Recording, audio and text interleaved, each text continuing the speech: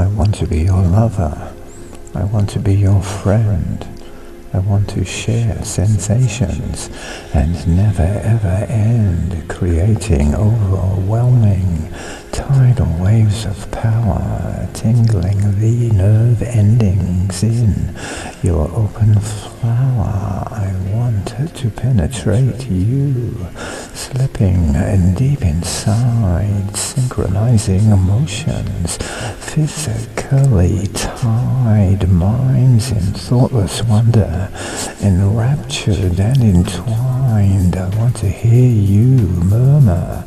I am yours, you're mine. I want to be your lover. I want to be your friend.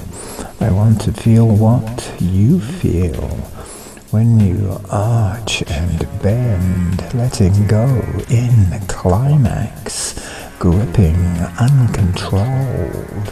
I want to be inside you, if I may be so bold.